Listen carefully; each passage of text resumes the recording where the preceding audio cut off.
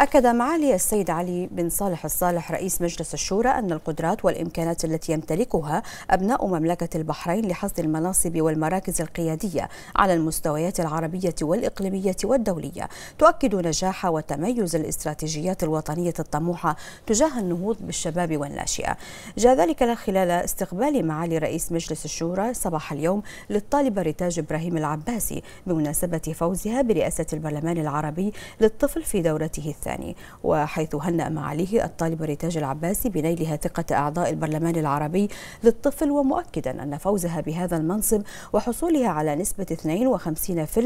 52% من الأصوات في الانتخابات التي تمت عن بعد يعتبر إنجازا مشرفا لمملكة البحرين ومنوها بالدور الذي يطلع به البرلمان العربي للطفل في ترسيخ مفاهيم ومبادئ الحوار البناء لدى الأطفال وجعلهم قادرين على بحث ومناقشة الموضوعات المهمة للشباب والناشئة. ومؤكدا أن لجنة شؤون المرأة والطفل بالمجلس على أتم الاستعداد للتنسيق مع البرلمان العربي للطفل في الموضوعات المشتركة.